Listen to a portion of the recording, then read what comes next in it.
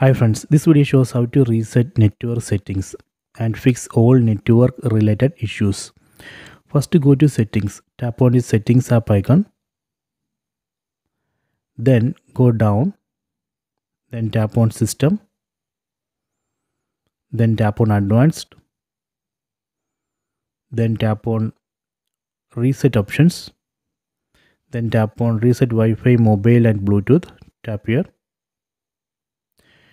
you can see this will reset all network settings including Wi-Fi, mobile data and Bluetooth. So if you are facing issue on any of these Wi-Fi, mobile data or Bluetooth, we can just do uh, network settings reset. So that way we can fix that issue. So let me do reset net settings, tap here, then again tap on reset settings. Okay done, network settings have been reset.